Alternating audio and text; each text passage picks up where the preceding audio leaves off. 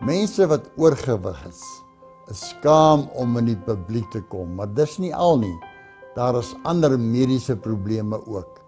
Hulle ontwikkel hoë bloeddruk, tipe 2 suikersiekte, hoofpynne, uh menstruasie wat fluktueer en onreëlmatig is en talle ander negatiewe dinge wat met jou liggaam gebeur wat jou lewe kan verkort en baie onaangenaam maak.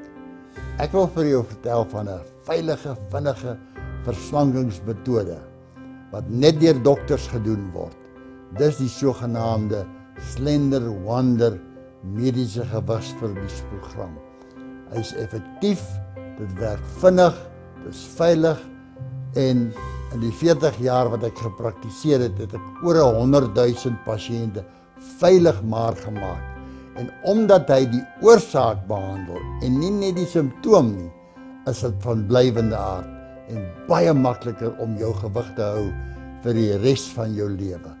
Gaan na die webwerf www.slenderwonder.co.za of as jy in of naby Pretoria bly, SMS net die woord wonder en jou naam na 35528 en iemand sal jou skakel.